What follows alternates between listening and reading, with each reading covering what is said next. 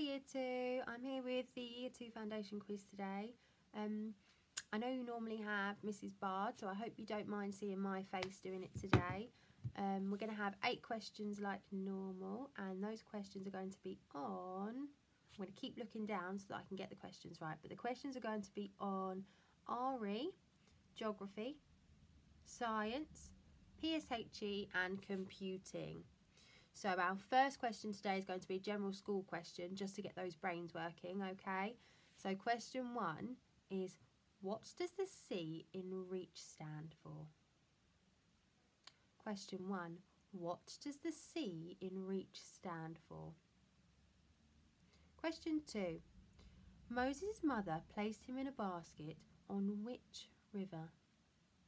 Question two, Moses' mother placed him in a basket on which river?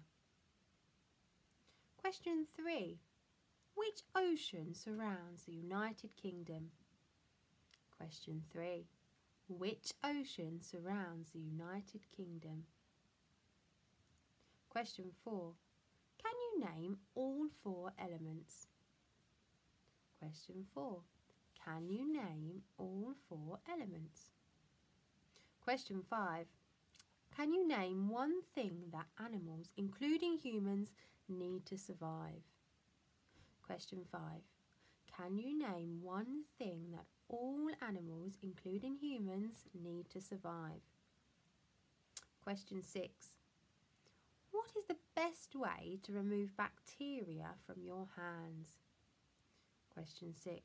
What's the best way to remove bacteria from your hands? Question 7.